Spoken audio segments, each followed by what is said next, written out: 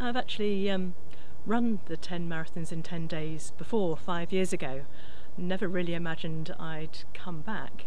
Um, some people were a little surprised at the end when I revealed that the reason I had gone for it um, was to run through the menopause. Um, I think I'm now beyond that, and I'm, this time I want to celebrate my 60th birthday. I'm going to be 60 on the day before the first of the 10 marathons, so for me it will definitely be a, a dry birthday without too much of a party, although I, I'm sure the, the people here at Brathay will help me celebrate in some way or other.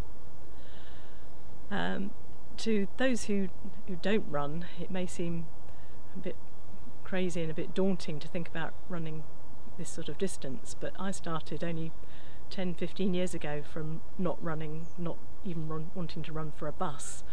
Um, I got free health club membership if I agreed to run a, a marathon for charity.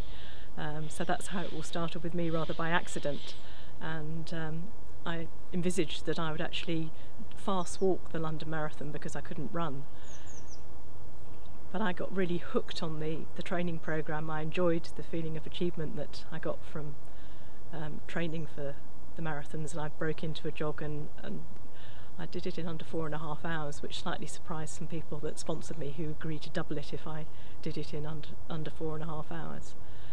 Um, my business at um, that I, actually I suppose I, I was inspired to start after I ran the last 10 in 10 um, the 10 in 10 I think gave me the confidence to actually go out and retrain to be a, a fitness trainer.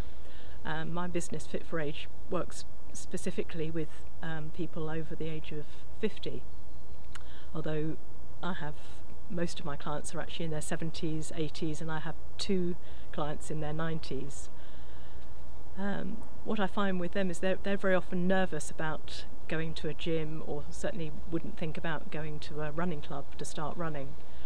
Yeah, once people pluck up the courage in many cases to actually start exercising when they're um, a little older, um, it doesn't take long, I don't find, to to get the confidence that they can actually do more than they think they can do.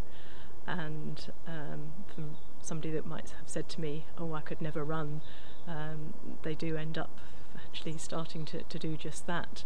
But it doesn't have to be running. I my feeling is that uh, we should all do an exercise that we enjoy. It just so happens that I have come to really enjoy running, um, but it, it needn't be that, and uh, it can be dancing, swimming, cycling, whatever, whatever takes your fancy.